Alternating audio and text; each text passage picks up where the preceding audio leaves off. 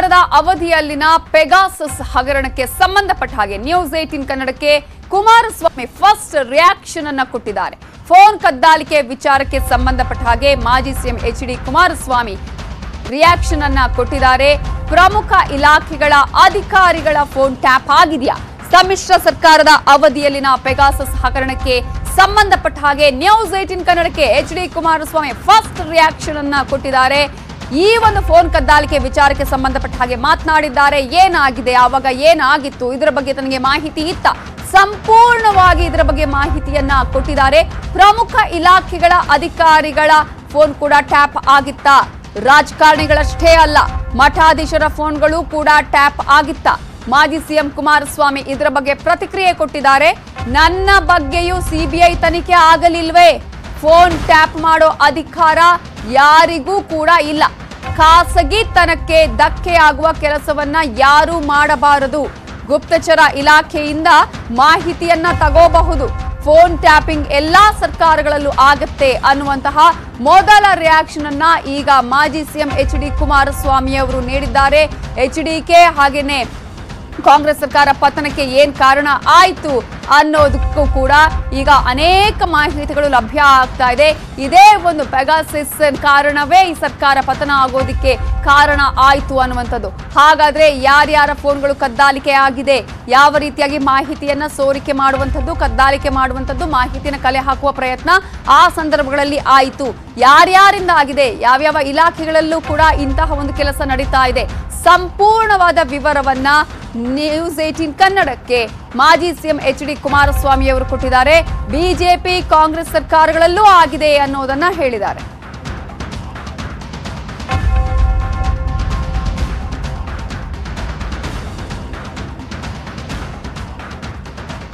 ನಿನ್ನೆಯ ಪ್ರಕರಣ ಈಗ ಮತ್ತೆ ಪುನಃ ಕರ್ನಾಟಕ ರಾಜ್ಯಕ್ಕೆ ವಿಸ್ತರಣೆ ಆಗಿದೆ ದೆಹಲಿಯಿಂದ. ಪೆಗಾಸಸ್ನ ವಿಷಯಕ್ಕೆ ಸಂಬಂಧಪಟ್ಟಾಗೆ ಎರಡು ಸಾವಿರದ ಹದಿನೆಂಟು ಹತ್ತೊಂಬತ್ತನೇ ಸಾಲಿನಲ್ಲಿ ಮೈತ್ರಿ ಸರ್ಕಾರ ಕರ್ನಾಟಕದಲ್ಲೇನಿತ್ತು ಆ ಸಂದರ್ಭದಲ್ಲಿ ನನ್ನ ಒಂದು ಪಿ ಎ ಫೋನ್ ಕ ನಂಬರನ್ನು ಮತ್ತು ಕಾಂಗ್ರೆಸ್ನ ನಾಯಕರ ಫೋನನ್ನು ಟ್ಯಾಪ್ ಮಾಡಿದ್ದಾರೆ ಅಂತಕ್ಕಂಥದ್ದು ಏನಿದೆ. ಇದು ನನಗೇನು ಅಚ್ಚರಿ ಮೂಡ್ತಕ್ಕಂಥ ಸಬ್ಜೆಕ್ಟ್ ಅಲ್ಲ ಇದು. ಯಾತಕ್ಕೆ ನಾನು ಈ ಮಾತು ಹೇಳ್ತೀನಿ ಅಂದರೆ, ಹಲವಾರು ವರ್ಷಗಳಿಂದ ಇತ್ತೀಚಿನ ರಾಜಕಾರಣಗಳಲ್ಲಿ ಯಾವೊಂದು ಇಂಟೆಲಿಜೆನ್ಸ್ ಇಲಾಖೆಗಳಿರ್ಬೋದು, ಕೇಂದ್ರ ಸರ್ಕಾರದಲ್ಲಿರತಕ್ಕಂಥ ಅವರ ಇಲಾಖೆಗಳಿರ್ಬೋದು, ಅದರಲ್ಲಿ ಇನ್ಕಮ್ ಟ್ಯಾಕ್ಸನ್ನು ಒಳಗೊಂಡಂತೆ. ಎಲ್ಲ ಇಲಾಖೆಗಳಲ್ಲಿ, ಪ್ರಮುಖವಾದಂಥ ಇಲಾಖೆಗಳಲ್ಲಿ ಹಲವಾರು ಪ್ರಮುಖರ ಫೋನ್ಗಳನ್ನು ಟ್ಯಾಪ್ ಮಾಡ್ತಕ್ಕಂಥದ್ದು, ಈಗ ನಡೀತಾ ಇರ್ತಕ್ಕಂಥದ್ದು ಎಲ್ರಿಗೂ ಗೊತ್ತಿರ್ತಕ್ಕಂಥ ವಿಚಾರ. ನಾನು ಸತ್ಯ ಹೇಳ್ತೀನಿ, ಬೇರೆಯವರು ಸತ್ಯ ಹೇಳಲಿಕ್ಕೆ ತಯಾರಾಗಿಲ್ಲ, ಒಪ್ಕೊಳ್ಳಿಕ್ಕೆ ತಯಾರಾಗಿಲ್ಲ. ಇಲ್ಲಿ ನನ್ನ ಮೇಲೂ ಸಹ, ನಾನು ಮುಖ್ಯಮಂತ್ರಿ ಇದ್ದಾಗ ನಾನು ಕೆಲವರು ಫೋನ್ಗಳನ್ನು ಟ್ಯಾಪ್ ಮಾಡಿದ್ದೇನೆ ಅಂತಕ್ಕಂಥದ್ದು. ಮತ್ತು ಅದರ ಜೊತೆಯಲ್ಲಿ ನನ್ನ ಸರ್ಕಾರದಲ್ಲಿ ಹಲವಾರು ಮಠಾಧೀಶ್ವರರ ಫೋನ್ಗಳನ್ನು ಟ್ಯಾಪ್ ಮಾಡಿಸ್ತಾ ಇದ್ರು ಕುಮಾರಸ್ವಾಮಿ ಅವರು ಅಂತ ಹೇಳಿ, ನನ್ನ ಮೇಲೆ ಒಂದು ದೊಡ್ಡ ಅಪಪ್ರಚಾರಗಳನ್ನು ಮಾಡಿದಂಥದ್ದು ಇದೆ ರಾಜ್ಯದಲ್ಲಿ. ಮೊನ್ನೆಯೂ ಸಹ ರೀಸೆಂಟಾಗೂ ಸಹ ಮತ್ತೆ ಅದು ಪುನರಾವರ್ತನೆ ಆಯಿತು. ಅದು ಯಾವ ಮಟ್ಟಕ್ಕೆ ಅಂದರೆ ನಮ್ಮ ಮಠಾಧ್ಯಕ್ಷರು ಆದಿಚುಂಚನಗಿರಿಯ ಪೀಠಾಧ್ಯಕ್ಷರೇನಿದ್ದಾರೆ ಅವರ ಫೋನನ್ನು ಸಹ ನಾನು ಟ್ಯಾಪ್ ಮಾಡಿಸ್ತಾ ಇದ್ದೆ ಅಂತಕ್ಕಂಥ ಒಂದು ಅಭಿಪ್ರಾಯ ಮೂಡಿಸ್ಲಿಕ್ಕೆ ಪ್ರಯತ್ನ ಪಟ್ಟರು ನಾನು ಅಮೇರಿಕಾಗೆ ಹೋಗಿದ್ದು ಅವ್ರ ಜೊತೆಯಲ್ಲಿ ಅವ್ರ ಜೊತೆ ಹೋಗಿ ನಾನು ಸರ್ಕಾರ ಹೋಗಿದ್ದು. ನಾನು ಅವ್ರ ಫೋನ್ ಟ್ಯಾಪ್ ಮಾಡಿಸ್ಕೊಳ್ಳೋದಾದರೆ ನಾನು ಅವರು ಅವ್ರ ಜೊತೆಲಿ ಯಾಕೆ ಹೋಗ್ತಾ ಇದ್ದೆ? ಅವ್ರ. ಈ ಒಂದು ಟ್ಯಾಪಿಂಗ್ ಸಿಸ್ಟಮ್ ಏನಿದೆ ಇಪ್ಪತ್ತು ಇಪ್ಪತ್ತೈದು ವರ್ಷದಿಂದ ನಡ್ಕೊಂಬಂದಿರತಕ್ಕಂಥದ್ದು. ಎಲ್ಲ ಸರ್ಕಾರಗಳಲ್ಲೂ ಮಾಡಿದ್ದಾರೆ. ಕಾಂಗ್ರೆಸ್ ಸರ್ಕಾರದಲ್ಲೂ ಮಾಡಿದ್ದಾರೆ ಬಿ ಜೆ ಪಿ ಸರ್ಕಾರದಲ್ಲೂ ಮಾಡಿದ್ದಾರೆ. ನಾನು ಇದಕ್ಕೆ ಹೆಚ್ಚಿನ ನಾನು ದೊಡ್ಡ ಮಟ್ಟದ ಮಹತ್ವವನ್ನು ಕೊಡಲಿಕ್ಕೆ ಹೋಗೋದಿಲ್ಲ. ನಾನು ಎಲ್ಲ ರಾಜಕಾರಣಿಗಳಿಗೆ ಎಲ್ಲ ಪಕ್ಷಗಳಿಗೆ ಮನವಿ ಮಾಡ್ತಕ್ಕಂಥದ್ದು. ಈ ವಿಷಯಗಳಿಗೆ ಆದ್ಯತೆ ಕೊಡದೆ ನಾಡಿನ ದೇಶದ ಜನತೆಯ ಸಮಸ್ಯೆಗಳೇನಿದೆ. ಇದರ ಬಗ್ಗೆ ಗಮನ ಸಂಸತ್ನಲ್ಲಿ ಸಂಸತ್ನಲ್ಲಿ ಪೆಗಾಸಸ್ ಫೋನ್ ಟ್ಯಾಪಿಂಗ್ ಸಂಬಂಧಪಟ್ಟಂಗೆ ಕೋಲಾಲ ಆಗಿದೆ. ಅದರಲ್ಲೂ ಕೂಡ ಕರ್ನಾಟಕ ತಾವು ಮುಖ್ಯಮಂತ್ರಿ ಅದಕ್ಕೆ ಹೇಳ್ತಾ ಇರೋದು ಈಗ ನನ್ನ ಮೇಲೂ ಅದೆಂತೂ ಸಿ ಬಿ ಐ ಎನ್ಕ್ವೈರಿ ಅಂತ ಹಾಕ್ಲಿಲ್ವೇ? ನಾನು ಅಧಿಕಾರ ಹೇಳಿದ ನಂತರ ಇದೇ ಬಿ ಜೆ ಪಿ ಸರ್ಕಾರದಲ್ಲಿ ಸಿ ಬಿ ಐ ಎನ್ಕ್ವೈರಿಗೆ ಕದಿಂದ ಟೆಲಿಫೋನ್ ಕ ಕಳಗಿವಿ ಅಂತಲೋ ಏನೋ ಒಂದು ಕೊಟ್ಟಿದ್ರಲ್ಲ. ನಾನು ಮಾಡ್ಕೊಳ್ರಪ್ಪ ಅಂತ ಹೇಳಿದೆ. ಏಕೆಂದರೆ ಇಲ್ಲಿ ಮುಖ್ಯಮಂತ್ರಿ ಆಗಲಿ ಪ್ರಧಾನಮಂತ್ರಿ ಆಗಲಿ ಇದನ್ನು ಟ್ಯಾಪ್ ಮಾಡ್ತಕ್ಕಂಥದ್ದಲ್ಲ. ಖಾಸಗಿತನಕ್ಕೆ ಇದು ಧಕ್ಕೆ ಆಗಲ್ವಾ? ಟೂ ಹಂಡ್ರೆಡ್ ಪರ್ಸೆಂಟ್ ಆಗುತ್ತೆ. ಟೂ ಹಂಡ್ರೆಡ್ ಪರ್ಸೆಂಟ್ ಖಾಸಗಿತನಕ್ಕೆ ಧಕ್ಕೆ ಆಗೋದ್ರಲ್ಲಿ ಯಾವ ಸಂಶಯ ಇಲ್ಲ. ಆದರೆ ಈಗಿನ ಸರ್ಕಾರಗಳು ನಾನು ಆ ಸರ್ಕಾರ ಈ ಸರ್ಕಾರ ಅಂತ ಹೇಳಲ್ಲ. ಈಗ ಕರ್ನಾಟಕ ರಾಜ್ಯಕ್ಕೆ ಸಂಬಂಧಪಟ್ಟಾಗೆ ಇಂಟೆಲಿಜೆನ್ಸ್ ಇಲಾಖೆ ಅಂತ ಇದೆ. ಆ ಇಂಟೆಲಿಜೆನ್ಸ್ ಇಲಾಖೆಯಲ್ಲಿ ಯಾರು ಮುಖ್ಯಸ್ಥ ಇರ್ತಾನೆ ಅವನು ಇನ್ಫಾರ್ಮೇಷನ್ ತಗೋಬೇಕಲ್ಲ.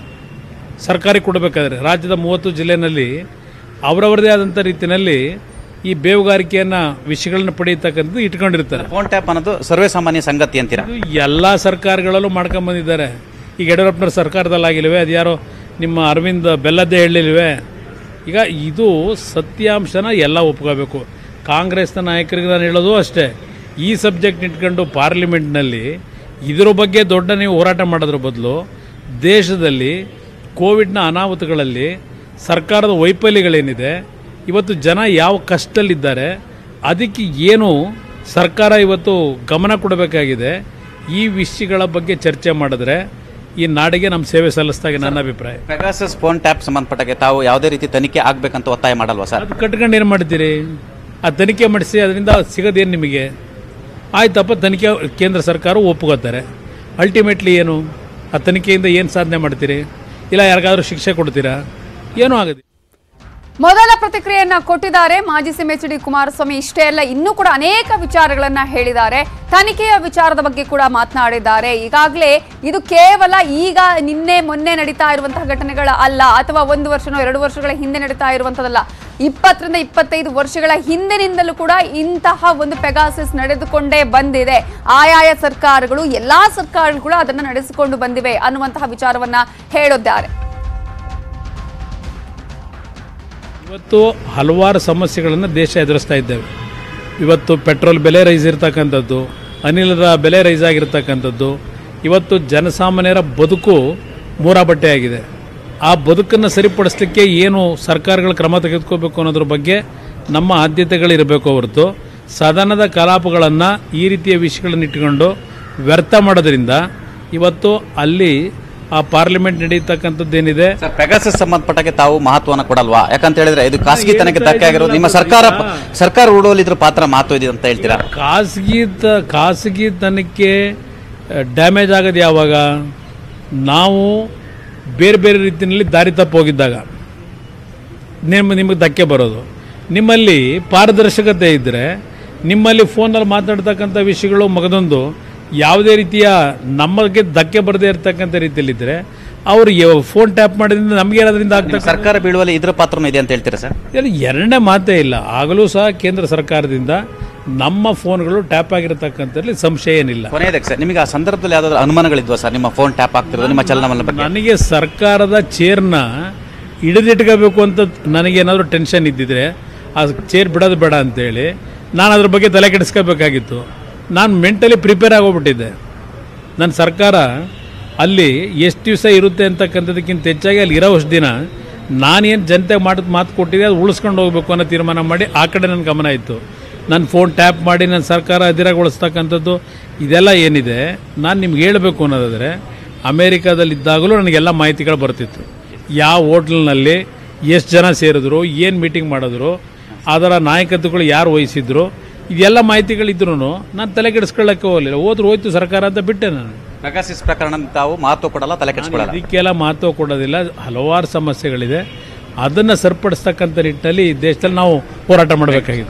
ಇವಿಷ್ಟು ಮಾಜಿ ಮುಖ್ಯಮಂತ್ರಿ ಎಚ್ ಡಿ ಕುಮಾರಸ್ವಾಮಿ ಅವರ ಅಭಿಪ್ರಾಯ. ಕ್ಯಾಮ್ರಾ ಪರ್ಸನ್ ಶಿವಪ್ಪ ಜೊತೆ Chidanand Patel news eighteen Kannada Bengaluru. Pegasus ವಿಚಾರ ಈಗ ದೊಡ್ಡ ಮಟ್ಟದಲ್ಲಿ ಚರ್ಚೆ ಆಗ್ತಾ ಇದೆ. ನಿನ್ನೆ ಸಂಸತ್ತಿನಲ್ಲೂ ಕೂಡ ಇದೇ ವಿಚಾರ ಕೋಲಾಹಲಕ್ಕೆ ಕಾರಣ ಆಗಿತ್ತು. ಆದರೆ ಸರ್ಕಾರ ಇದನ್ನು ಸ್ಪಷ್ಟವಾಗಿ ನಿರಾಕರಿಸಿತು. ಯಾವುದೇ ಕಾರಣಕ್ಕೂ ಕೂಡ ನಾವು ಅದನ್ನು ಪರ್ಚೇಸ್ ಮಾಡುವಂತಹ ಪ್ರಶ್ನೆಯೇ ಇಲ್ಲ ಅನ್ನುವಂಥದ್ದು. ಆದರೆ ಈಗ ಕರ್ನಾಟಕದ ವಿಚಾರಕ್ಕೆ ಬಂದರೆ ಈಗಾಗಲೇ ಮಾಜಿ ಸಿಎಂ ಕುಮಾರಸ್ವಾಮಿ ಕೂಡ ನ್ಯೂಸ್ ಏಟೀನ್ ಕನ್ನಡಕ್ಕೆ ಫಸ್ಟ್ ರಿಯಾಕ್ಷನ್ ಅನ್ನು ಕೊಟ್ಟಿದ್ದಾರೆ. ಹಲವು ವರ್ಷಗಳಿಂದಲೂ ಕೂಡ ಇದು ನಡೆದುಕೊಂಡು ಬಂದಿದೆ ಅನ್ನೋದನ್ನ ಹೇಳಿದ್ದಾರೆ. ಹಾಗಾದ್ರೆ ಏನ್ ಹೇಳಿದ್ರು? ಯಾವ ರೀತಿ ಮಹತ್ವ ಕೊಡ್ತಾರಾ? ಇಲ್ವಾ? ತನಿಖೆಗೆ ಆಗ್ರಹಿಸಿದ್ರೆ ಇವೆಲ್ಲದರ ಬಗ್ಗೆ ಇನ್ನಷ್ಟು ಡೀಟೇಲ್ಸ್ ಕೊಡೋದಕ್ಕೆ ಪೊಲಿಟಿಕಲ್ ಬ್ಯೂರೋ ಚೀಫ್ ಆಗಿರುವಂತಹ ಚಿದಾನಂದ್ ಪಟೇಲ್ ನಮ್ಮ ಜೊತೆ ಈಗ ನೇರ ಸಂಪರ್ಕದಲ್ಲಿ ಜಾಯ್ನ್ ಆಗಿದ್ದಾರೆ. ಚಿದಾನಂದ ಪಟೇಲ್, ಬೇಕಾಸಸ್ ಒಂದು ಸಾಕಷ್ಟು ಚರ್ಚೆಗೆ ಕಾರಣ ಆಗ್ತಾ ಇದೆ ಈಗ. ಸೊ ಈ ಸಂದರ್ಭದಲ್ಲಿ ಕರ್ನಾಟಕದಲ್ಲೇ ನಾವು ನೋಡೋದಾದ್ರೆ ವಿಪಕ್ಷ ನಾಯಕರಾದ ಸಿದ್ದರಾಮಯ್ಯ, ಮಾಜಿ ಸಿಎಂ ಕುಮಾರಸ್ವಾಮಿ ಮಾಜಿ ಡಿ ಸಿಎಂ ಪರಮೇಶ್ವರ್ ಅವರ ಹೆಸರುಗಳು ಕೂಡ ಕೇಳಿ ಬಂದಿದೆ. ಆ ಎಲ್ಲಾ ಮಾಹಿತಿಗಳನ್ನು ಕಲೆ ಹಾಕಲಾಗಿದೆ. ಅವರ ಆಪ್ತರ ಮಾಹಿತಿಗಳನ್ನ ಕೂಡ ಕಲೆ ಹಾಕಲಾಗಿತ್ತು ಅನ್ನುವಂಥದ್ದು. ಈಗ ಯಾವ ರೀತಿಯಾಗಿ ಈ ಒಂದು ಪ್ರಕರಣ ದೊಡ್ಡದಾಗಿ ಇದೆ? ಮತ್ತೊಂದು ಕಡೆ ಗಂಭೀರವಾದದ್ದಷ್ಟೇ ಅಲ್ಲದೆ, ಈ ಪ್ರಕರಣದ ಬಗ್ಗೆ ಈ ಮಹತ್ವ ಕೊಡುವ ಅವಶ್ಯಕತೆ ಇಲ್ಲ ಅನ್ನೋದಕ್ಕೆ ಯಾಕೆ ಹೇಳಿದ್ದಾರೆ ಹಾಗಾದ್ರೆ ಕುಮಾರಸ್ವಾಮಿ ಅವರು? ನವಿತಾ ಜೈನ್ ಪೆಗಾಸಸ್ ಕಳ್ಳಗಿವಿ ಪ್ರಕರಣ ಕರ್ನಾಟಕದಲ್ಲೂ ಕೂಡ ನಡೆದಿತ್ತು ಅಂತೇಳಿ ಇದೀಗ ಬಹಿರಂಗ ಆಗಿರುವಂಥದ್ದು. ಸಂಸತ್ನಲ್ಲೂ ಕೂಡ ದೊಡ್ಡ ಮಟ್ಟದ ಕೋಲಾಲ ಆಗ್ತಿದೆ. ಇದರ ಬೆನ್ನಲ್ಲೇ ಕರ್ನಾಟಕದ ಮಾಜಿ ಮುಖ್ಯಮಂತ್ರಿ ಎಚ್ ಡಿ ಕುಮಾರಸ್ವಾಮಿ ಅವರ ಎರಡ್ ಸಾವಿರದ ಹದಿನೆಂಟು ಮತ್ತು ಹತ್ತೊಂಬತ್ತರ ಮೈತ್ರಿ ಸರ್ಕಾರದ ಅವಧಿಯಲ್ಲಿ ಕೂಡ ಪೆಗಾಸಸ್ ಕಳ್ಳಗಿವಿಯನ್ನು ಇಟ್ಟಿತ್ತು ಅನ್ನೋದು ಕೂಡ ಈಗ ಸಾಬೀತಾಗಿರುವಂಥದ್ದು. ಒಂದು ಕಡೆ ಮಾಜಿ ಮುಖ್ಯ ಅಂದಿನ ಮುಖ್ಯಮಂತ್ರಿ ಆಗಿರ್ತಂಥ ಎಚ್ ಡಿ ಕುಮಾರಸ್ವಾಮಿ ಅವರ ಆಪ್ತ ಕಾರ್ಯದರ್ಶಿ ಆಗಿರ್ತಂಥ ರಘು ಮತ್ತು ಅಂದಿನ ಮಾಜಿ ಮುಖ್ಯಮಂತ್ರಿ ಆಗಿರ್ತಕ್ಕಂಥ ಸಿದ್ದರಾಮಯ್ಯನವರ ಆಪ್ತ ಕಾರ್ಯದರ್ಶಿ ಆಗಿದ್ದಂಥ ವೆಂಕಟೇಶ್ ಸೇರಿದಂತೆ ಅಂದಿನ ಗೃಹ ಸಚಿವರಾಗಿರ್ತಕ್ಕಂಥ ಡಾಕ್ಟರ್ ಜಿ ಪರಮೇಶ್ವರ್ ಈ ಮೂವರ ಆಪ್ತ ಕಾರ್ಯದರ್ಶಿಗಳ ಮೇಲೆ ಕಳ್ಳಗಿವಿಯನ್ನು ಇಡಲಾಗಿತ್ತು ಅಂತ ಹೇಳಲಾಗ್ತಿದೆ. ಜೊತೆಗೆ ಈ ಸಂಬಂಧಪಟ್ಟಾಗೆ ಒಂದಷ್ಟು ಡಾಟಾಬೇಸ್ಗಳು ಕೂಡ ಈಗ ಲೀಕ್ ಆಗಿರುವಂಥದ್ದು. ಈ ಸಂಬಂಧಪಟ್ಟಾಗೆ ನ್ಯೂಸ್ ಏಟೀನ್ ಕನ್ನಡಕ್ಕೆ ಮಾಜಿ ಮುಖ್ಯಮಂತ್ರಿ ಎಚ್ ಡಿ ಕುಮಾರಸ್ವಾಮಿ ಪ್ರತಿಕ್ರಿಯೆ ನೀಡಿರುವಂಥದ್ದು. ಈಗಾಗಲೇ ಪೆಗಾಸಸ್ ಕಳ್ಳಗಿವಿ ಕೂಡ ನಮ್ಮ ಸರ್ಕಾರ ಪತನ ಆಗಲಿಕ್ಕೆ ಒಂದು ಪರೋಕ್ಷವಾಗಿ ಕಾರಣ ಅನ್ನೋ ಮುಖಾಂತರ ಪೆಗಾಸಿಸ್ ಕಳ್ಳಗಿವಿಯಿಂದ, ಕಳ್ಳಗಿವಿ ಮುಖಾಂತರ ಕೂಡ ಸರ್ಕಾರದ ಚಲನವಲನಗಳು ಮತ್ತು ಆಗುವಗಳನ್ನು ಸಂಪೂರ್ಣ ಮಾಹಿತಿಯನ್ನು ಕಲೆ ಹಾಕಲಾಗ್ತಿತ್ತು. ಆ ಮುಖಾಂತರ ಸರ್ಕಾರ ಪತನ ಆಗಲಿಕ್ಕೆ ಇದು ಕಾರಣ ಅನ್ನೋ ಒಂದು ಮಾತನ್ನು ಕೂಡ ಹೇಳ್ತಾರೆ. ಜೊತೆಗೆ ತಾವು ಬಲಗ ಆದಿಚುಂಚನ ಸ್ವಾಮೀಜಿ ಜೊತೆ ಅಮೆರಿಕಕ್ಕೆ ಹೋದಂಥ ಸಂದರ್ಭದಲ್ಲೂ ಕೂಡ ಕರ್ನಾಟಕದಲ್ಲಿ ಆಗ್ತಕ್ಕಂಥ ಎಲ್ಲ ಬೆಳವಣಿಗೆಗಳ ಬಗ್ಗೆ ಕೂಡ ನನಗೆ ಮಾಹಿತಿ ಇತ್ತು. ನಾನು ಫೋನ್ ಟ್ಯಾಪ್ ಮಾಡಿದಂತ ನನ್ನ ಮೇಲೆ ಆರೋಪ ಬಂತು. ಆದರೆ ಎಲ್ಲ ಒಂದು ಕಡೆ ನಾನು ಫೋನ್ ಟ್ಯಾಪನ್ನು ಮಾಡಿಸಿಲ್ಲ ಅನ್ನೋದು ಕೂಡ ಈ ಸಂದರ್ಭದಲ್ಲಿ ಎಲ್ಲ ಒಂದು ಕಡೆ ಪ್ರತಿಕ್ರಿಯೆಯನ್ನು ಕೊಟ್ಟರು ಪ್ರಮುಖವಾಗಿ ಮಾಜಿ ಮುಖ್ಯಮಂತ್ರಿ ಎಚ್ ಡಿ ಕುಮಾರಸ್ವಾಮಿ ಪೆಗಾಸಸ್ ಪ್ರಕರಣವನ್ನು ಇಲ್ಲಿಗೆ ಬಿಟ್ಟುಬಿಡಿ ಅನ್ನೋ ಮುಖಾಂತರ ವಿಪಕ್ಷಗಳಿಗೆ ಮತ್ತು ಸಲಹೆಯನ್ನು ಕೊಟ್ಟಿರುವಂಥದ್ದು. ಯಾಕಂತ ಹೇಳಿದ್ರೆ ದೇಶದಲ್ಲಿ ಬಹಳಷ್ಟು ಸಮಸ್ಯೆಗಳಿದೆ. ಪೆಟ್ರೋಲ್, ಡೀಸೆಲ್ ಬೆಲೆ ಏರಿಕೆ ಆಗಿರುವಂಥದ್ದು ಕೋವಿಡ್ ಅಲೆ ಇರುವಂಥದ್ದು. ಈ ಸಂದರ್ಭದಲ್ಲಿ ಬೇರೆ ಬೇರೆ ವಿಚಾರಗಳು ಮತ್ತು ದೇಶದ ಆರ್ಥಿಕ ವ್ಯವಸ್ಥೆ ಬಗ್ಗೆ ಚರ್ಚೆ ಮಾಡಬೇಕು.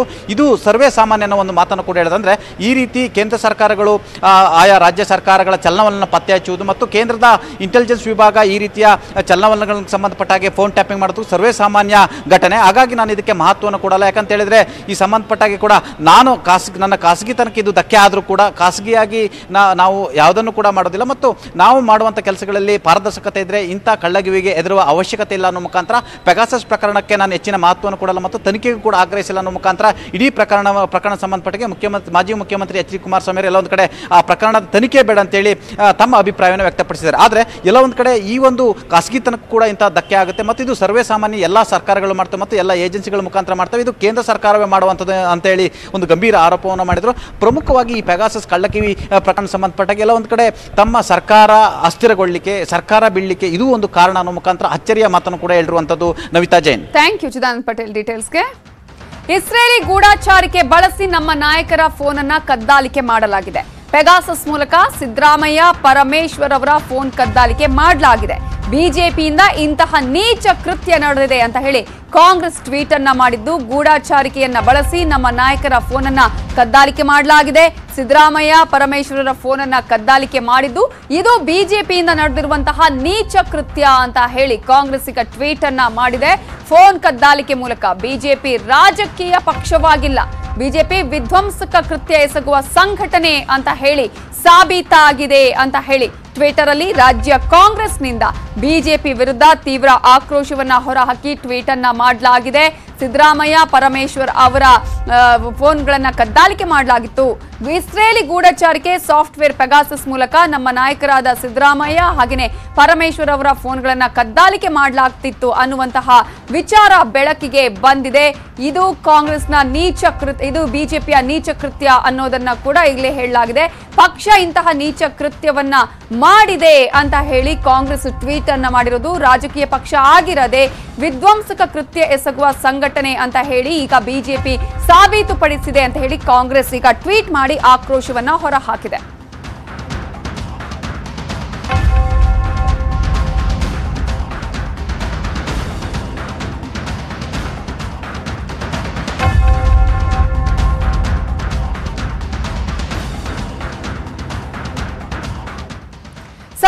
ಯಾವ ರೀತಿಯಾಗಿ ಪತನ ಆಯಿತು? ಆಗ ಕುಮಾರಸ್ವಾಮಿ ಅವರಿದ್ದಂತಹ ಸರ್ಕಾರವೇ. ಆದ್ರೆ ಈಗ ಕುಮಾರಸ್ವಾಮಿ ಅವರೇ ಈ ಒಂದು ಪ್ರಕರಣವನ್ನ ಅಥವಾ ಪೆಗಾಸಿಸ್ ಅನ್ನ ನಾವು ಇನ್ನೂ ಕೂಡ ಕಂಟಿನ್ಯೂ ಮಾಡೋದು ಬೇಡ ಅಂತ ಹೇಳಿದ್ದಾರೆ. ಹಾಗಾಗಿ ಇದನ್ನ ಕಾಂಗ್ರೆಸ್ ಯಾವ ರೀತಿಯಾಗಿ ತೆಗೆದುಕೊಳ್ಳತ್ತೆ?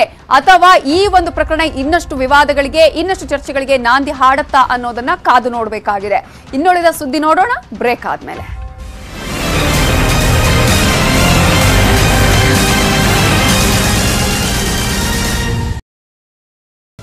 ರಾಜ್ಯ ರಾಜಕಾರಣದಲ್ಲೀಗ ರಾಜೀನಾಮೆಯ ವಿಚಾರವೇ ಸದ್ದು ಮಾಡ್ತಾ ಇದೆ. ಈಗ ಸಿಎಂ ಬಿಎಸ್ವೈ ರಾಜೀನಾಮೆ ಅನ್ನುತ್ತಲೇ ಎಲ್ಲರೂ ಅಲರ್ಟ್ ಆಗಿದ್ದಾರೆ. ಪ್ರತಿ ಕ್ಷಣದಲ್ಲೂ ಪ್ರಬಲ ಅಸ್ತ್ರಗಳನ್ನ ಬಳಸ್ತಾ ಇದ್ದಾರೆ ಬಿಎಸ್ವೈ. ರಾಜ್ಯ ರಾಜಕಾರಣದಲ್ಲಿ ಸಂಚಲನಕ್ಕೆ ಕಾರಣ ಆಗಿರೋದು ರಾಜೀನಾಮೆ ನೀಡ್ತಾರಾ ರಾಜೀನಾಮೆಯ ವದಂತಿಯ ವಿಚಾರ. ಸಿಎಂ ಬಿಎಸ್ವೈ ರಾಜೀನಾಮೆ ಅನ್ನುತ್ತಲೇ ಈಗ ಅನೇಕ ಬೆಳವಣಿಗೆಗಳು ನಡೀತಾ ಇದೆ. ಸಿಎಂ ಬಿಎಸ್ವೈ ನಿವಾಸಕ್ಕೆ ಸ್ವಾಮೀಜಿಗಳ ದಂಡೆ ಹರಿದು ಬಂದಿದೆ. ಸಿಎಂ ಬಿಎಸ್ವೈ ಬದಲಾವಣೆಯ ವದಂತಿ ಬೆನ್ನಲ್ಲೇ ದೌಡಾಯಿಸಿದ್ದಾರೆ ಸ್ವಾಮೀಜಿಗಳು. ದಿಂಗಾಲೇಶ್ವರ ಶ್ರೀಗಳ ನೇತೃತ್ವದಲ್ಲಿ ಸಮಾಲೋಚನೆ ನಡೆದಿದೆ. ಕಾವೇರಿ ನಿವಾಸದಲ್ಲಿ ಸಿಎಂ ಜೊತೆ ಸಮಾಲೋಚನೆಯನ್ನ ನಡೆಸಿದ್ದಾರೆ. ಸಿಎಂ ಬೆನ್ನಿಗೆ ನಿಂತಿದ್ದಾರೆ ಲಿಂಗಾಯತ ಸ್ವಾಮೀಜಿಗಳು. ಸಿಎಂ ಯಡಿಯೂರಪ್ಪಗೆ ಸ್ವಾಮೀಜಿಗಳು ಬೆಂಬಲ ಕೊಟ್ಟಿದ್ದಾರೆ.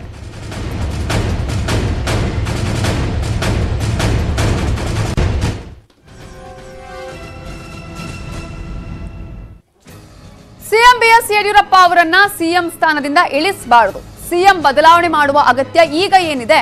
ಸಿಎಂ ಭೇಟಿ ಬಳಿಕ ದಿಂಗಾಲೇಶ್ವರ ಸ್ವಾಮೀಜಿ ಪ್ರಶ್ನೆ ಮಾಡಿದ್ದಾರೆ. ಪಕ್ಷಕ್ಕಾಗಿ ತ್ಯಾಗ ಮಾಡಿದ್ದಾರೆ, ಪರಿಶ್ರಮ ಪಟ್ಟಿದ್ದಾರೆ. ಮುಂದಿನ ದಿನಗಳಲ್ಲಿ ಮಠಾಧೀಶರೆಲ್ಲ ಸಭೆ ಮಾಡ್ತೇವೆ ಅಂತ ಹೇಳಿದ್ದಾರೆ. ಬಿಜೆಪಿ ಅನ್ನುವಂತಹದ್ದು ಒಂದು ಪಕ್ಷ ಅಧಿಕಾರಕ್ಕೆ ಬಂದಿದ್ರೆ ಅದು ಯಡಿಯೂರಪ್ಪನವ್ರ ಮುಖ ನೋಡಿಕೊಂಡು ಬಂದಿದೆ. ಅವರ ಸಹವರ್ತಿಗಳ ಪರಿಶ್ರಮದಿಂದ ಬಂದಿದೆ ಅನ್ನುವಂಥದ್ದನ್ನು ಮಾತ್ರ ನಾವು ಹೇಳ್ಬೋದು. ಈ ರೀತಿ ಒಂದು ಪಕ್ಷವನ್ನ ಕೆಳಮಟ್ಟದಿಂದ ಮೇಲ್ಮಟ್ಟಕ್ಕೆ ತಂದು ಅಧಿಕಾರಕ್ಕೆ ತಂದಿರತಕ್ಕಂಥ ಯಡಿಯೂರಪ್ಪನವರನ್ನ ಯಾವುದೇ ಪರಿಸ್ಥಿತಿ ಒಳಗೆ ಹಿಂದೂ ಕೂಡ ಆಡಳಿತ ಮಾಡಲಿಕ್ಕೆ ಬಿಟ್ಟಿಲ್ಲ, ಈಗೂ ಕೂಡ ಆಡಳಿತ ಮಾಡಲಿಕ್ಕೆ ಬಿಟ್ಟಿಲ್ಲ ಅಂತಕ್ಕಂಥ ನೋವು ಇದು ಕೇವಲ ಮಠಾಧಿಪತಿಗಳಿಗಿಲ್ಲ, ಇಡೀ ರಾಜ್ಯಕ್ಕಿದೆ ಅನ್ನುವಂಥ ಮಾತನ್ನು ಈ ಸಂದರ್ಭದಲ್ಲಿ ಹೇಳಲಿಕ್ಕೆ ಇಚ್ಛಪಡ್ತೇವೆ. ಯಾವುದೇ ಪರಿಸ್ಥಿತಿ ಒಳಗೆ ಯಡಿಯೂರಪ್ಪನವರ ಬದಲಾವಣೆ ಅನ್ನುವಂಥದ್ದು ಆಗಿದ್ದೇ ಕರೆ ಆದರೆ ಬಹುಶಃ ಕರ್ನಾಟಕದಲ್ಲಿ ಬಿಜೆಪಿ ಸರ್ವನಾಶ ಆಗುತ್ತೆ ಅನ್ನುವಂತಹದ್ದನ್ನು ಈ ಸಂದರ್ಭದಲ್ಲಿ ನಾವು ಸ್ಪಷ್ಟವಾಗಿ ಹೇಳಲಿಕ್ಕೆ ಇಷ್ಟಪಡ್ತೇವೆ ಇದು ಕೇವಲ ನಮ್ಮ ಮಾತಲ್ಲ, ಇಡೀ ರಾಜ್ಯದ ಬಹುಸಂಖ್ಯಾತರ ಮಾತು ಅನ್ನುವಂಥದ್ದನ್ನು ತಮ್ಮ ಗಮನಕ್ಕೆ ನಾವು ತರಲಿಕ್ಕೆ ಇಷ್ಟಪಡ್ತಾ ಇದ್ದೇವೆ. ಲಿಂಗಾಯತ ನಾಯಕನನ್ನ ತಳಗಿಳಿಸಬಾರದು ಅನ್ನೋ ಮಾತನ್ನ ನಾವು ಹೇಳ್ತಾ ಇಲ್ಲ. ಯಡಿಯೂರಪ್ಪನವರು ಈ ರಾಜ್ಯಕ್ಕಾಗಿ ಸಾಕಷ್ಟು ದುಡಿದಿದ್ದಾರೆ. ಈ ವಯಸ್ಸಿನಲ್ಲಿ ಅವ್ರನ್ನ ಸಂ- ಚೆನ್ನಾಗಿ ಆಡಳಿತ ಮಾಡಲಿಕ್ಕೆ ಬಿಡಬೇಕು. ಹೈಕಮಾಂಡಿನವರಾಗಲಿ, ಈಗಿರ್ತಕ್ಕಂತಹ ಆ ಪಕ್ಷದ ಎಲ್ಲ ನಾಯಕರಾಗಲಿ ಅವರಿಗೆ ಬೆನ್ನಿಗೆ ನಿಂತುಕೊಂಡು ಆಡಳಿತ ಮಾಡಲಿಕ್ಕೆ ಅವಕಾಶ ಕೊಡಬೇಕು ಅನ್ನುವಂಥದ್ದು ಮಠಾಧಿಪತಿಗಳ ಅಭಿಪ್ರಾಯ ಆಗಿದೆ. ಮತ್ತೊಂದ್ ಕಡೆ ಮುರುಘಾಶ್ರೀಗಳು ಕೂಡ ಮಾತಾಡಿದ್ದಾರೆ. ಬಿಎಸ್ವೈ ತಮ್ಮ ಶಕ್ತಿಯನ್ನೂ ತೋರಿಸಬಲ್ಲರು ಕೆಲವರಿಗೆ ಸವಾಲು ಆಗಬಲ್ಲರು. ಸರ್ವರನ್ನು ಜೊತೆಗೊಯ್ಯುವ ಬಿಎಸ್ವೈಗೆ ತೊಂದರೆ ಆಗಬಾರದು ಅಂತ ಹೇಳಿ ಚಿತ್ರದುರ್ಗದಲ್ಲಿ ಡಾಕ್ಟರ್ ಶಿವಮೂರ್ತಿ ಮುರುಘಾ ಶರಣರು ಹೇಳಿದ್ದಾರೆ. ಅಷ್ಟೇ ಅಲ್ಲ ವಿವಿಧ ಮಠಗಳ ಮಠಾಧೀಶರು ಸಿಎಂ ಬೆಂಬಲಕ್ಕೆ ನಿಂತಿದ್ದಾರೆ. ಸಿಎಂ ಬದಲಾವಣೆ ಮಾಡದಂತೆ ಒತ್ತಾಯಿಸಿದ್ದಾರೆ. ಯಡಿಯೂರಪ್ಪನವರು ಒಂದು ದೊಡ್ಡ ಶಕ್ತಿ ಅದು. ಅವರು ಶಕ್ತಿಯನ್ನು ತೋರಿಸಬಲ್ಲರು. ಕೆಲವರಿಗೆ ಸವಾಲು ಕೂಡ ಆಗಬಲ್ಲರು. ಅಂತ ಮುತ್ಸದ್ದಿತನ, ಮೇಧಾವಿತನ ಅವರಲ್ಲಿದೆ.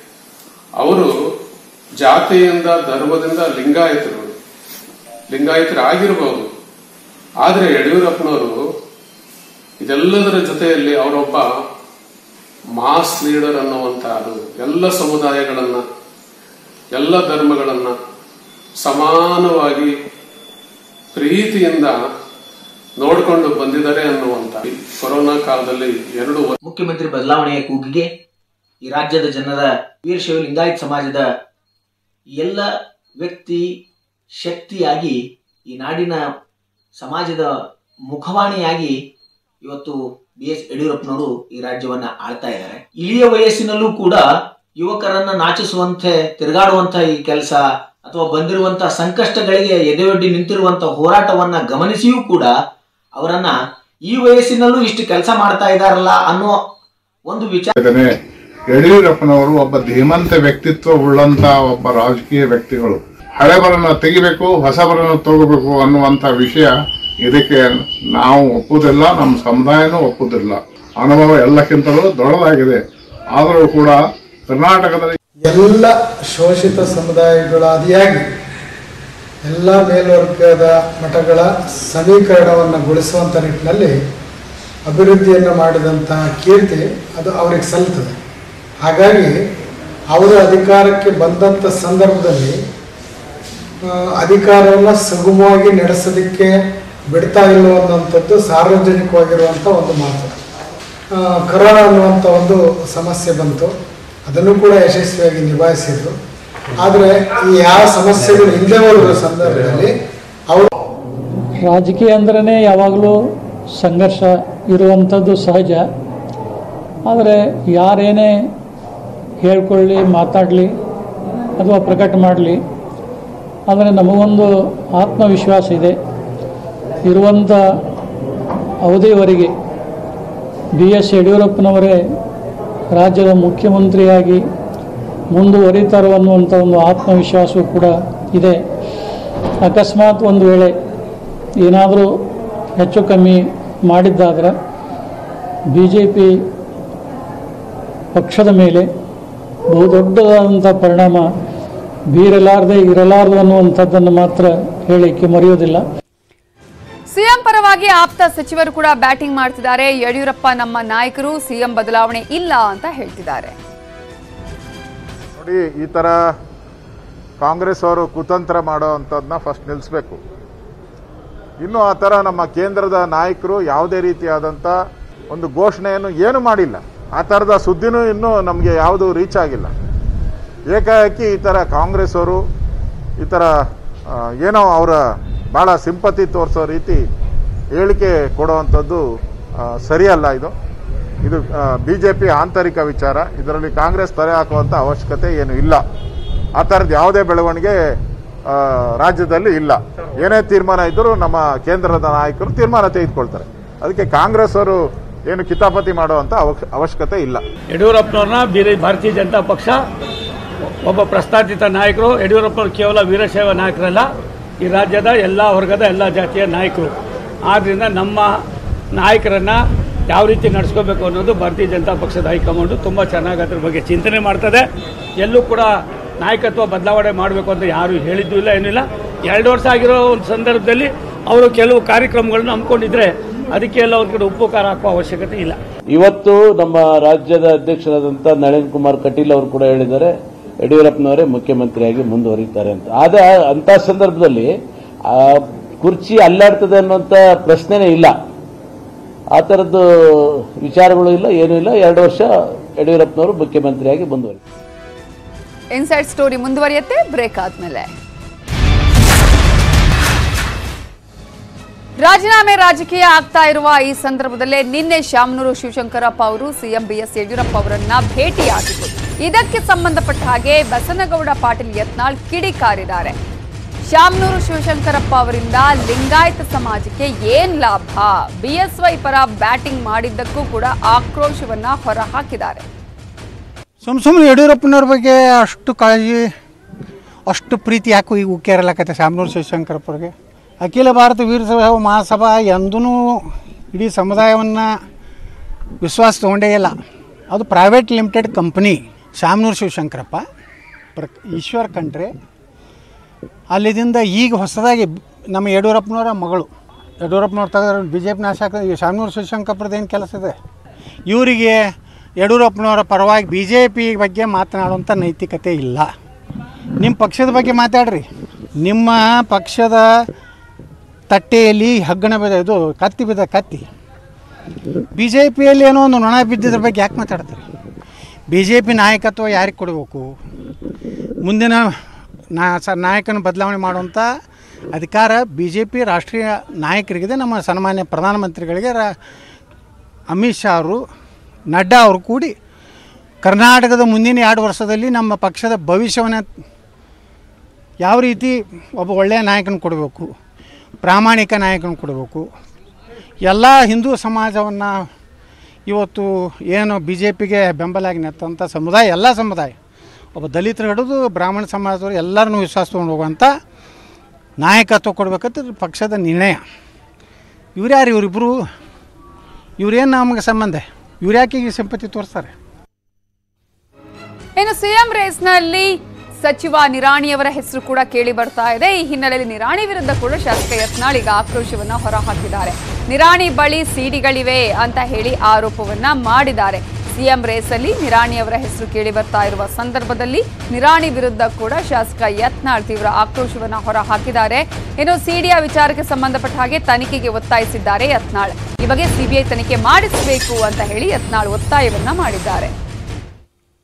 ಏನನ್ನೋರಪ್ಪ ನನಗೆ ನೋಡ್ರಿ, ಈಗ ರಾಜಕಾರಣ ಹೆಂಗಾಗ್ಬಿಟ್ಟದಂದ್ರೆ ಸಿ ಡಿ ಕೋಟ ಅಂತ ಹೇಳಿದ್ದೆ ನಾ ಸಂಕ್ರಮ ದಿವಸ. ಸತ್ಯ ಆಯಿತು. ಸಿ ಡಿ ಇರೋದು ಸತ್ಯ ಐತಿ. ಸಿ ಡಿ ಅನೇಕ ಮಠಾಧೀಶರು ನೋಡ್ಯಾರ. ಕೆಲವೊಂದು ಮಠಾಧೀಶರು ಕಣ್ಣು ಮುಚ್ಕೊಂಡಾರ ಸಿ ಡಿ ನೋಡಿ. ಅಯ್ಯೋ ಅಯ್ಯೋ, ಬೇಡ ಬೇಡ ಬೇಡ ಅಂದಾರ. ಕೆಲವೊಂದು ಮಠಾಧೀಶರು ಅಂದ್ರೆ ಅತ್ಯಂತ ಸಂತೋಷದಿಂದ ನೋಡ್ಯಾರ. ಈಗ ಮಠಾಧೀಶರು ಬ್ಯಾಟಿಂಗ್ ಮಾಡ್ಲಕತ್ತಾರ ಯಾರ್ಯಾರು?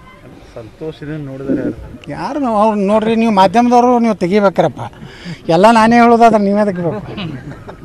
ಅಲ್ಲಿ ಸದಸ್ಯರು ಇರ್ಲಿಕ್ಕಿಲ್ಲ ಡೈರೆಕ್ಟರ್ ಇರಲಿಕ್ಕಿಲ್ಲ. ಅದಕ್ಕೆ ಸಮಗ್ರ ತನಿಖೆ ಅವಶ್ಯ ಇದೆ. ಇವತ್ತೇನು ಮುಖ್ಯಮಂತ್ರಿ ಸಲುವಾಗಿ ಅವರೇನು ಬಹಳ ದೊಡ್ಡ ಲಾಬಿ ಮಾಡ್ತಾ ಇದ್ದಾರೆ ದಿಲ್ಲಿಯಲ್ಲಿ ಅವ್ರ ಬಳಿ ಸಿಕ್ಕಾಪಟ್ಟೆ ರೊಕ್ಕ ಇದೆ. ಎಲ್ಲರನ್ನೂ ಖರೀದಿ ಮಾಡ್ತೀನಿ ಎಲ್ಲರಿಗೂ ಏನು ಬೇಕಾದ ಕೊಡ್ತೀನಿ ಅಂತೇಳಿ ಯುವರಾಜ ಅಂತೇಳಿ ನೀವು ಕೇಳಿರಿ ಈಗ ಜೈಲ್ನಾಗ ಅದಾನ. ಯುವರಾಜನ ಮುಖಾಂತರ ಅನೇಕ ಸಿನಿಮಾ ತಾರೆಯನ್ನು ಸಹಿತ ದಿಲ್ಲಿಗೆ ಹೋಗುವಂಥದ್ದು ಸಹಿತ ಕೆಲವೊಂದು ಸಂದರ್ಭದಾಗ ಆಗ್ತದೆ. ಇಲ್ಲಿನೂ ಒಂದು ಘಟನೆ ನಿಮ್ಗೆ ಹೇಳ್ತೀನಿ ಇವತ್ತು, ಹೇಳಬೇಕಾಗ್ತದೆ. ಇಲ್ಲೊಬ್ಬಕ್ಕಿದ್ದಳು ಕೊಲೆ ಆಯಿತು. ದಿನಾಲೂ ಆ ಕೊಲೆಯಾದ ಹೆಣ್ಣಿನ ಜೊತೆಗೆ ತಾಸುಗಟ್ಟಲೆ ಮಾತಾಡ್ತಿದ್ರು. ಇವೆಲ್ಲ ಅವರು ಮೊಬೈಲ್ಗಳ ಇದನ್ನು ಮಾಡಿದ್ರೆ ಇವ್ರು ಎಲ್ಲೆಲ್ಲಿ ಏನೇನು ಅದಾವು ಎಲ್ಲ ಗುರ್ತಾಗ್ತದೆ ಏನನ್ನೋರಪ್ಪ ನನಗೆ ನೋಡ್ರಿ ಈಗ ರಾಜಕಾರಣ ಹೆಂಗಾಗಿಬಿಟ್ಟಿದಂದ್ರೆ ಸಿ ಡಿ ಕೋಟ ಅಂತ ಹೇಳಿದ್ದೆ ನಾ ಸಂಕ್ರಮ ದಿವಸ.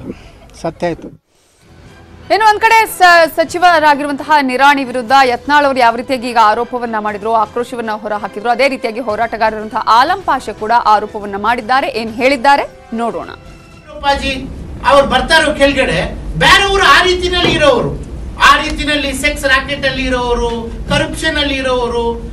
ಇಷ್ಟೇ ಆರ್ಡರ್ ತಗೊಂಡು ನಮ್ಗೆ ಅರೆಸ್ಟ್ ಮಾಡಬೇಡ್ರಿ ಅಂತ ಹೇಳಿರೋದು ಅದನ್ನಲ್ಲಿ ಡಿಸೈಡ್ ಆಗಿಲ್ಲ. ನಮ್ಗೆ ಅರೆಸ್ಟ್ ಮಾಡಬೇಡ್ರಿ. ನನ್ ನಿಂತ ಸಿಡಿ ಬಿಡುಗಡೆ ಮಾಡಬೇಡ್ರಿ. ಸಿಡಿ ಬಿಡಬೇಡ್ರಿ. ಅಂತ ಸಿಡಿನಲ್ಲಿ ಏನುಂಟು? ಅವರು ನಿರಾಣಿ ಶುಗರ್ಸ್ ಅಲ್ಲಿ ಬಾಯ್ಲರ್ ಬಸ್ಟ್ ಆಗಿ. ಬಾಯ್ಲರ್ ಬಸ್ಟ್ ಆಗಿ ನಾಲ್ಕು ಜನ ಸತ್ತಾರೆ. ಅದು ಯಾರ್ದು ಡ್ಯೂಟಿ ಪೊಲೀಸ್ ಅವರು ಇವ್ರಿಗೆ ಅರೆಸ್ಟ್ ಯಾತಿಗೆ ಮಾಡಿಲ್ಲ. ಅವ್ರ ತಮ್ಮ ಡೈರೆಕ್ಟರ್ ಯಾತಿಗೆ ಅರೆಸ್ಟ್ ಮಾಡಿಲ್ಲ. ಅವ್ರ ಫ್ಯಾಮಿಲಿ ಮೆಂಬರ್ ಯಾತಿಗೆ ಅರೆಸ್ಟ್ ಮಾಡಿಲ್ಲ. ಈ ತರ ಎಲ್ಲ ಬಿಟ್ಟಿದ್ದೀರಾ ನೀವು? ಈ ತರ ಗೌರ್ಮೆಂಟ್ ಈ ತರ ರಾಜ್ಯ, ಈ ತರ ಕರ್ನಾಟಕಕ್ಕೆ ಈ- ತರ ಮುಖ್ಯಮಂತ್ರಿಗಳು ಬೇಕಾ ಆಮೇಲೆ ನೀರಾಣಿ ಬ್ಯಾಂಕ್ ಅಂತೀರಿ, ಬ್ಯಾಂಕೇ ಇಲ್ಲ ಅದು. ಆ ಬ್ಯಾಂಕ್ ಮುಖಾಂತ ಸಾವಿರ ಸಾವಿರ ಹಳ್ಳಿ ಜನಗಳಿಂದ ಹಣ ಅವ್ರು ಕೊಡೋದು ಅಲ್ಲಿ ಹಾರ್ವೆಸ್ಟಿಂಗ್ ಮಾಡೋದಕ್ಕೆ. ನಿಮ್ಮ ಬ್ಯಾಂಕಿಗೆ ಯಾರ್ತಿಗೆ ಬರೋದು? ಅದು ಯಾರು ನೋಡಬೇಕು? ಆಧಾರ್ ಕಾಂಗ್ರೆಸ್ ಲಿಂಗಾಯತ ನಾಯಕರಿಗೆ ಬಿಜೆಪಿ ಟಾಂಗ್ ಅನ್ನ ಕೊಟ್ಟಿದೆ. ಬಿಎಸ್ವೈಗೆ ಬೆಂಬಲವನ್ನ ಕೊಟ್ಟು ಎಂಬಿ ಪಾಟೀಲ್ ಅವರು ಟ್ವೀಟ್ ಅನ್ನ ಮಾಡಿದ್ರು, ಮಾತನಾಡಿದ್ರು. ಶ್ಯಾಮನೂರು ಶಿವಶಂಕರಪ್ಪ ಅವರು ಕೂಡ ಮಾತನಾಡಿದ್ರು. ನಿನ್ನೆ ಬಿ ಎಸ್ ಯಡಿಯೂರಪ್ಪ ಅವರನ್ನ ಮೀಟ್ ಮಾಡಿದ್ರು. ಸೊ ಎಂ ಬಿ ಪಾಟೀಲ್ ಅವರು ಟ್ವೀಟ್ ಮೂಲಕ ಏನು ನಿನ್ನೆ ಹೇಳಿದ್ರು, ಆ ಒಂದು ಟ್ವೀಟ್ಗೂ ಕೂಡ ಈಗ ತಿರುಗೇಟನ್ನ ಬಿಜೆಪಿ ನೀಡಿದ್ದು. ವೀರೇಂದ್ರ ಪಾಟೀಲ್ರನ್ನ ಸಿಎಂ ಸ್ಥಾನದಿಂದ ಇಳಿಸಿದ್ರಿ. ಈ ಮೂಲಕ ಲಿಂಗಾಯತ ಸಮುದಾಯಕ್ಕೆ ಕಾಂಗ್ರೆಸ್ ದ್ರೋಹ ಬಗೆದಿತ್ತು. ಕಾಂಗ್ರೆಸ್ ಲಿಂಗಾಯತ ನಾಯಕರಿಗೆ ಬಿಜೆಪಿ ತಿರುಗೇಟನ್ನ ನೀಡಿದೆ. ಲಿಂಗಾಯತರಿಗೆ ಸಿಎಂ ಅವಕಾಶವನ್ನ ಕಾಂಗ್ರೆಸ್ ತಪ್ಪಿಸಿದೆ. ಎಂಬಿ ಪಾಟೀಲ್ ಅವರೇ ಈ ದ್ರೋಹದ ಬಗ್ಗೆ ನೀವು ಅವಲೋಕನವನ್ನ ಮಾಡಿ, ಇತಿಹಾಸವನ್ನ ಅವಲೋಕಿಸಿ ಅಂತ ಹೇಳಿ ಬಿಜೆಪಿ ಟ್ವೀಟ್ ಅನ್ನ ಮಾಡಿದೆ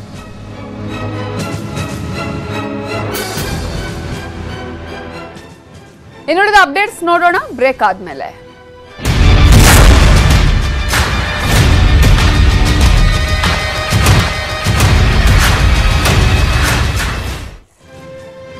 ಇವತ್ತು ಸಾಕಷ್ಟು ರಾಜಕೀಯ ಬೆಳವಣಿಗೆಗಳು ನಡೀತಾ ಇದೆ. ಆದರೆ ಅವೆಲ್ಲದರ ಮಧ್ಯದಲ್ಲಿ ವಿಧಾನಸೌಧಕ್ಕೆ ಸಿಎಂ ಬಂದ ತಕ್ಷಣ ಸೈಡ್ಗೆ ಹೋಗಿದ್ದಾರೆ ಸಚಿವ ಸಿಪಿ ಯೋಗೇಶ್ವರ್. ಕೆಂಗಲ್ ಗೇಟ್ ಬಳಿ ಆರ್ ಅಶೋಕ್ ಅವರ ಜೊತೆ ನಿಂತಿದ್ರು ಮಾತನಾಡ್ತಾ ನಿಂತಿದ್ರು ಸಿಪಿ ಯೋಗೇಶ್ವರ್ ಮತ್ತು ಆರ್ ಅಶೋಕ್ ಅವರು. ಆದರೆ ಅದೇ ದಾರಿಯಲ್ಲಿ ಸಿಎಂ ಬರ್ತಾ ಇದ್ದಿದ್ದನ್ನು ಕಂಡು ಬೇರೆ ದಾರಿಯಲ್ಲಿ ಹೋಗಿದ್ದಾರೆ ಸಚಿವ ಸಿಪಿ ವೈ.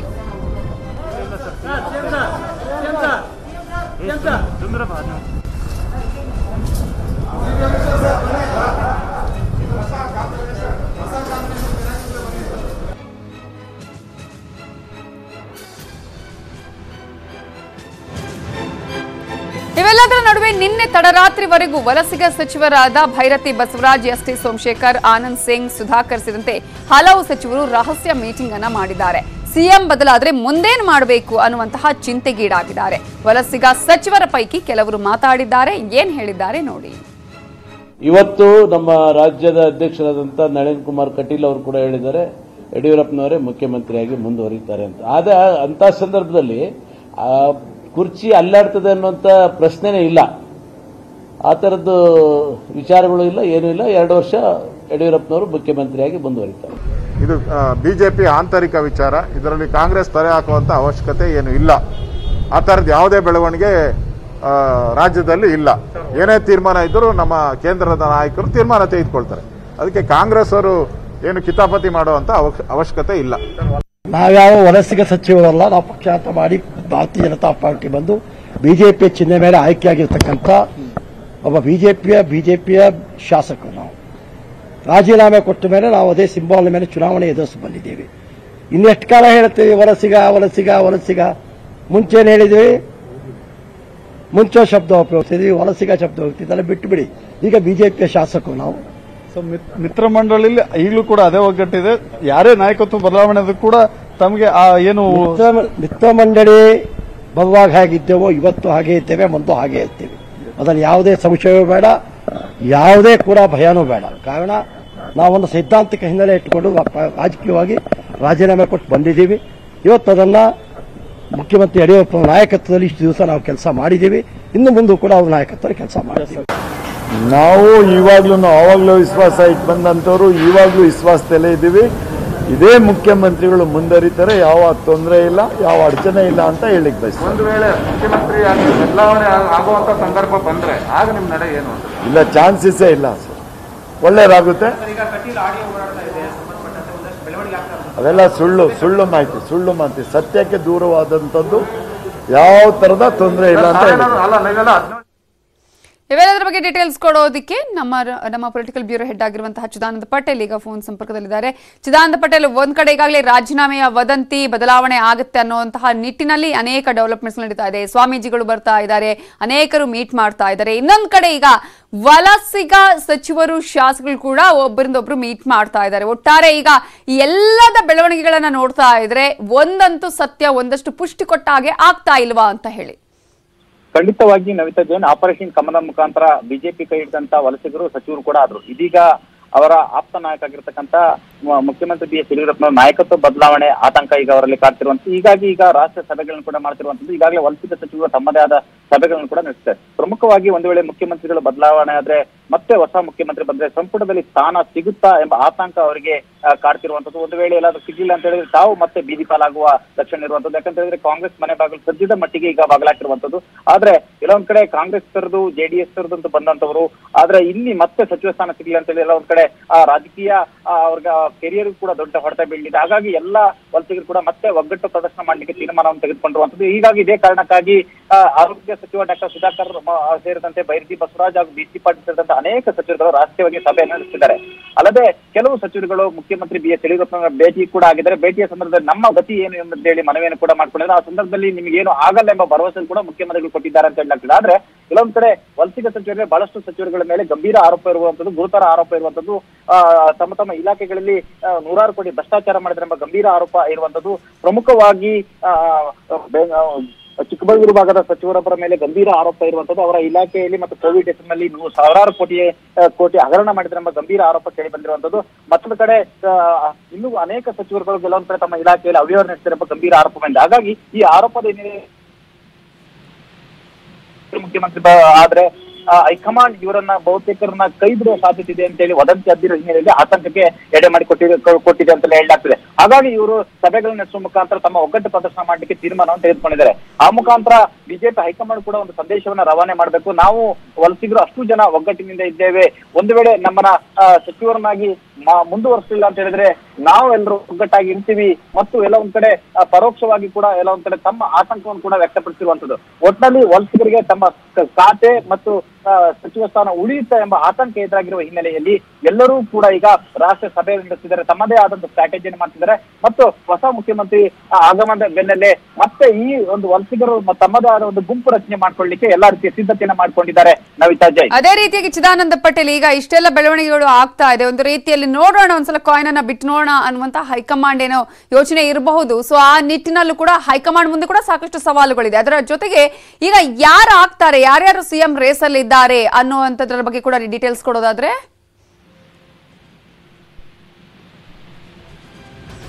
ಚಿದಾನಂದ ಪಟೇಲ್ ನನ್ನ ವಾಯ್ಸ್ ಕೇಳಿಸ್ತಾ ಇದೆಯಾ? ಓಕೆ ಅವರ ಫೋನ್ ಕಟ್ ಆಗಿದೆ. ಮತ್ತೆ ಅವರನ್ನು ಸಂಪರ್ಕಿಸಿ ಮಾಹಿತಿಯನ್ನ ಪಡ್ಕೊಳ್ಳೋಣ. ಈಗಾಗಲೇ ನೀವೇ ನೋಡ್ತಾ ಇದ್ದೀರಾ? ಈಗಾಗಲೇ ಉಮೇಶ್ ಕತ್ತಿ ಸಚಿವರಾದ ಉಮೇಶ್ ಕತ್ತಿ ಅವರಂತೂ ಹಲವು ವರ್ಷಗಳಿಂದ ಹೇಳ್ಕೊಂಡು ಬರ್ತಾನೆ ಇದ್ದಾರೆ. ನಿನ್ನೆ ಮೊನ್ನೆ ಕೂಡ ಮತ್ತೆ ಅದೇ ಮಾತನ್ನ ಹೇಳಿದ್ರು. ಪ್ರಹ್ಲಾದ್ ಜೋಶಿ ಅವರ ಹೆಸರು ಬಹಳ ಜೋರಾಗಿ ಕೇಳಿ ಬರ್ತಾ ಇದೆ. ಸಚಿವ ಮುರುಗೇಶ್ ನಿರಾಣಿ ಅವರ ಹೆಸರು ಸಿಎಂ ರೇಸಲ್ಲಿ ಕೇಳಿ ಬರ್ತಾ ಇದೆ. ಪ್ರಮುಖವಾಗಿ ಈಗಾಗಲೇ ಅಶ್ವಥ್ ನಾರಾಯಣ ಅವರು, ಉಪಮುಖ್ಯಮಂತ್ರಿ ಅವರನ್ನ ಮಾಡಿದ್ದೆ, ಗೋವಿಂದ ಕಾರಜೋಳ ಅವರನ್ನು ಉಪಮುಖ್ಯಮಂತ್ರಿ ಮಾಡಿದ್ದೆ. ಇವೆಲ್ಲವನ್ನ ಕೂಡ ಒಂದ್ಸಲ ನೋಡೋಣ ಎಕ್ಸ್ಪೆರಿಮೆಂಟ್ ಮಾಡೋಣ, ಯಾವ ರೀತಿಯಾಗಿ ಆ ನಂತರ ಸಿಎಂ ಆಗಿ ಅವರನ್ನು ಕೂರಿಸಬಹುದಾ ಅಂತ ಹೇಳಿ ಅಂತ ಹೇಳಿ. ಅರವಿಂದ ಬೆಲ್ಲದವರ ಹೆಸರು ಕೂಡ ಜೋರಾಗಿ ಕೇಳಿ ಬರ್ತಾ ಇದೆ. ಸಚಿವ ಉಮೇಶ್ ಕತ್ತಿ ಆಗಿರ್ಬೋದು ಶಾಸಕ ಬಸನಗೌಡ, ಪಾಟೀಲ್ ಯತ್ನಾಳ ಅವರು ಕೂಡ ಸಿಎಂ ರೇಸಲ್ಲಿ ಇರೋದನ್ನ ನಾವು ನೋಡಬಹುದು. ಪ್ರಹ್ಲಾದ್ ಜೋಶಿ ಅವರ ಹೆಸರು ಬಹಳ ಜೋರಾಗಿ ಕೇಳಿ ಬರ್ತಾ ಇದೆ. ಏನಿದೆ ಪ್ಲಸ್ ಪಾಯಿಂಟ್ಸ್ ಅಂತ ನಾವು ನೋಡ್ತಾ ಹೋಗೋದಾದ್ರೆ ಪ್ಲಸ್ ಪಾಯಿಂಟ್ ಅನ್ನು ಮೊದಲನೇದಾಗಿ ನಾವು ನೋಡೋಣ. ಅನುಭವಿ ನಾಯಕ ಇವರು, ಕೇಂದ್ರ ಮಂತ್ರಿಯಾಗಿ ಉತ್ತಮ ಕೆಲಸವನ್ನ ಮಾಡಿರುವಂತಹ ಹೆಗ್ಗಳಿಕೆ ಇದೆ. ಹೈಕಮಾಂಡ್ ವರಿಷ್ಠರ ಬೆಂಬಲ ಇದೆ. ಬ್ರಾಹ್ಮಣ ಸಮುದಾಯದ ನಾಯಕ ಉತ್ತರ ಕರ್ನಾಟಕದ ಪ್ರಬಲ ನಾಯಕ ಕೂಡ ಹೌದು. ಲಿಂಗಾಯತ ಶಾಸಕರ ಬೆಂಬಲ ಇವರಿಗೆ ಇದೆ. ಭ್ರಷ್ಟಾಚಾರದ ಆರೋಪಗಳು ಯಾವುದೇ ರೀತಿಯಲ್ಲೂ ಕೂಡ ಇಲ್ಲ. ಇದೆಲ್ಲವೂ ಕೂಡ ಸಿಎಂ ರೇಸ್ನಲ್ಲಿ ಇರುವ ಹಾಗೆ ಮಾಡಿದೆ. ಇನ್ನು ಏನೇನು ಮೈನಸ್ ಇದೆ ಅಂತ ನೋಡೋದಾದ್ರೆ ಹೆಚ್ಚಿನ ಜನಸಂಪರ್ಕ ಇಲ್ಲ ಮಾಸ್ ಲೀಡರ್ ಅಲ್ಲ ಅನ್ನುವಂಥದ್ದು. ಇನ್ನು ಮುರುಗೇಶ್ ನಿರಾಣಿ ಅವರ ಪ್ಲಸ್ ಪಾಯಿಂಟ್ ನಾವು ಗಮನಿಸೋದಾದ್ರೆ, ಮುರುಗೇಶ್ ನಿರಾಣಿ ಅವರಲ್ಲಿ ಪಂಚಮಸಾಲಿ ಲಿಂಗಾಯತ ಮುಖಂಡ ಅನ್ನುವಂತಹ ಒಂದು ಹೆಗ್ಗಳಿಕೆ ಕೂಡ ಇದೆ. ಜಾತಿ ಮಠಾಧೀಶರ ಬೆಂಬಲ ಕೂಡ ಅವರಿಗೆ ಇದೆ. ಹೈಕಮಾಂಡ್ ಜೊತೆ ನೇರ ಸಂಪರ್ಕ ಹೊಂದಿದ್ದಾರೆ. ಸಚಿವರಾಗಿ ಅನುಭವ ಇದೆ. ಉದ್ಯಮಿ ಬೇರೆ, ಹಣದ ಬಲ ಕೂಡ ಇರೋದನ್ನ ನಾವು ಗಮನಿಸಬಹುದು ಇನ್ನು ಮುರುಗೇಶ್ ನಿರಾಣಿ ಮೈನಸ್ ಪಾಯಿಂಟ್ ನೋಡೋಣ. ಭ್ರಷ್ಟಾಚಾರದ ಆರೋಪ ಇದೆ. ಡಿನೋಟಿಫಿಕೇಶನ್ ಕೇಸಲ್ಲಿ ಹೆಸರಿದೆ. ಇಪ್ಪತ್ತಾರು ಎಕರೆ ಭೂಮಿ ಸಂಬಂಧ ಕೇಸ್ ಇದೆ. ಇತರೆ ಹಿರಿಯ ಶಾಸಕರಿಂದ ಆಕ್ಷೇಪ ಇದೆ. ಇವರನ್ನ ಸಿಎಂ ಮಾಡೋದಿಕ್ಕೆ ಅಂತ ಹೇಳಿ. ಇನ್ನು ಮುಂದಿನ ರೇಸಲ್ಲಿ ಇರುವಂತವರ ಹೆಸರು ಅಶ್ವಥ್ ನಾರಾಯಣ ಅವರು. ಆರ್ ಎಸ್ ಎಸ್ ನಾಯಕರ ಬೆಂಬಲ ಇದೆ, ಇವರಿಗೆ ಪ್ಲಸ್ ಪಾಯಿಂಟ್ ಅದು. ಹೈಕಮಾಂಡ್ ನಾಯಕರ ಬೆಂಬಲವೂ ಕೂಡ ಪ್ಲಸ್ ಪಾಯಿಂಟ್ ಡಿಸಿಎಂ ಆಗಿರುವಂತಹ ಅನುಭವ ಇದೆ. ಯಾವುದೇ ಭ್ರಷ್ಟಾಚಾರದ ಆರೋಪ ಇಲ್ಲ. ಒಕ್ಕಲಿಗ ಸಮುದಾಯದ ನಾಯಕ. ಎಲೆಕ್ಷನ್ ಟೈಮಲ್ಲಿ ಕೇರಳ ಉಸ್ತುವಾರಿಯನ್ನು ಕೂಡ ವಹಿಸಿಕೊಂಡಿದ್ರು. ಅದೇ ಅವರ ಇರುವಂತಹ ಅವರ ವಿರುದ್ಧ ಇರುವಂತಹ ಮೈನಸ್ ಪಾಯಿಂಟ್ ನೋಡೋದಾದ್ರೆ ರಾಜಕೀಯದ ಅನುಭವ ಕಡಿಮೆ ಇದೆ. ಮಾಸ್ ಲೀಡರ್ ಅಲ್ಲ ಅನ್ನುವಂಥದ್ದು. ಬೆಂಗಳೂರು, ಮೈಸೂರು ಭಾಗಕ್ಕೆ ಮಾತ್ರ ಇವರು ಸೀಮಿತ ಆಗಿದ್ದಾರೆ ಅನ್ನೋದನ್ನ ಕೂಡ ನಾವಿಲ್ಲಿ ಗಮನವನ್ನು ವಹಿಸಬೇಕಾಗುತ್ತೆ. ಇನ್ನು ಗೋವಿಂದ ಕಾರಜೋಳ ಕೂಡ ರೇಸಲ್ಲಿದ್ದಾರೆ ಅವರ ಪ್ಲಸ್ ಪಾಯಿಂಟ್ ನೋಡೋದಾದ್ರೆ ಹಿರಿಯ ಅನುಭವಿ ರಾಜಕಾರಣಿ. ಸಚಿವ ಡಿಸಿಎಂ ಆಗಿರುವ ಅನುಭವ ಇದೆ ಅವರಿಗೆ. ದಲಿತ ಸಮುದಾಯದ ಪ್ರಮುಖ ನಾಯಕ, ಪ್ರಭಾವಿ ನಾಯಕ. ನಂಬಿಕಸ್ಥ ಹೈಕಮಾಂಡ್ ಜೊತೆ ನಂಟನ್ನ ಹೊಂದಿರುವಂತಹ ನಾಯಕ. ಮೈನಸ್ ಪಾಯಿಂಟ್, ಎಪ್ಪತ್ತು ವರ್ಷ ವಯಸ್ಸಾಗಿದೆ ಅನ್ನುವಂಥದ್ದು ಒಂದಾದ್ರೆ ಆರೋಗ್ಯದಲ್ಲಿ ಸ್ವಲ್ಪ ಏರುಪೇರು ಕೂಡ ಆಗಿದೆ. ಮಾಸ್ ಲೀಡರ್ ಅಲ್ಲ ಅನ್ನೋದು ಇವರಿಗೆ ಇರುವಂತಹ ಮೈನಸ್ ಪಾಯಿಂಟ್. ಇನ್ನು ಸಿ ಟಿ ರವಿ ಅವರನ್ನ ನಾವು ನೋಡೋದಾದ್ರೆ ಅವರ ಪ್ಲಸ್ ಪಾಯಿಂಟ್, ಪ್ರಖರ ಹಿಂದುತ್ವವಾದಿ. ಸಚಿವರಾಗಿ ಅನುಭವ ಇದೆ. ಪಕ್ಷದ ರಾಷ್ಟ್ರೀಯ ಪ್ರಧಾನ ಕಾರ್ಯದರ್ಶಿ ಕೂಡ ಹೌದು. ಪ್ರಭಾವಿ ಒಕ್ಕಲಿಗರ ನಾಯಕ. ಹೈಕಮಾಂಡ್ ಜೊತೆ ನಂಟಿದೆ. ಆರ್ ಎಸ್ ಎಸ್ ನಾಯಕರ ಬೆಂಬಲ ಕೂಡ ಇದೆ. ಮೈನಸ್ ಪಾಯಿಂಟ್ ಅಂತ ನೋಡೋದಾದ್ರೆ ಮಾಸ್ ಲೀಡರ್ ಅಲ್ಲ ಅನ್ನೋದು. ಎಲ್ಲಾ ಸಮುದಾಯಗಳ ಬೆಂಬಲ ಕೂಡ ಅವರಿಗೆ ಇಲ್ಲ. ಬಹುತೇಕ ಶಾಸಕರಿಂದ ಅಂತರವನ್ನ ಕಾಯ್ದುಕೊಂಡಿದ್ದಾರೆ ಸಿ ಟಿ ರವಿ ಅನ್ನೋದು ಇವರಿಗೆ ಇರುವಂತಹ ಮೈನಸ್ ಪಾಯಿಂಟ್ಸ್. ಇನ್ನು ಅರವಿಂದ ಬೆಲ್ಲದವರ ಪ್ಲಸ್ ಪಾಯಿಂಟ್ ನೋಡೋಣ. ಲಿಂಗಾಯತ ಸಮುದಾಯದ ಮುಖಂಡ, ಕೆಲ ಮಠಾಧೀಶರ ಬೆಂಬಲ ಇದೆ ಇವರಿಗೆ. ಸೈಲೆಂಟ್ ಆಗಿ ಕೆಲ ಬಾರಿ ದೆಹಲಿಗೆ ಹೋಗಿ ಭೇಟಿಯನ್ನು ಕೂಡ ಮಾಡಿದ್ದಾರೆ, ಗೊತ್ತಿರೋ ವಿಚಾರ. ಅರುಣ್ ಸಿಂಗ್ ಜೊತೆ ನೇರ ಸಂಪರ್ಕವನ್ನ ಹೊಂದಿರುವವರು ಅಂತ ಹೇಳಿ. ಮೈನಸ್ ಪಾಯಿಂಟ್ಸ್ ಸಿಪಿ ಯೋಗೇಶ್ವರ್ ಜೊತೆ ಒಡನಾಟ ಇದೆ. ಹೈಕಮಾಂಡ್ ನಾಯಕರಿಂದ ಇವರಿಗೆ ಅಸಮಾಧಾನ ಇದೆ. ಪಕ್ಷ ವಿರೋಧಿ ಅನ್ನುವ ಅಭಿಪ್ರಾಯ ಇವರ ಮೇಲೆ ಇದೆ. ಬಿಎಸ್ವೈ ಬಣದ ವಿರೋಧ ಇವರ ಮೇಲೆ ಇರೋದನ್ನ ನಾವು ಗಮನಿಸಬಹುದು.